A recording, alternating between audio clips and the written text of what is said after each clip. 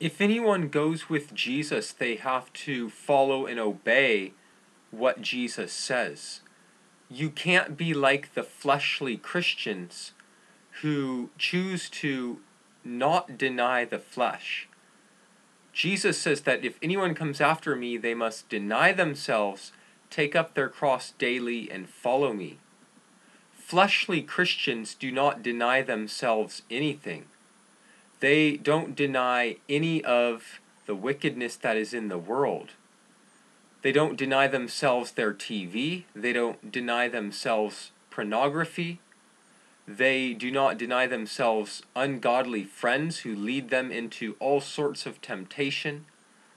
They don't deny themselves food. They don't deny themselves so that they can pray and fast. They do not deny themselves anything, and because of this, they have hardly a prayer life.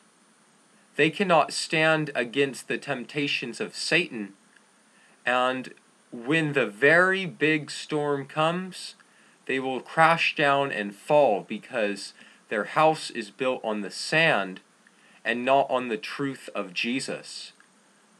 I encourage you to have nothing to do with the fleshly, worldly Christians. Reject the way of the worldly Christians and those who are fleshly.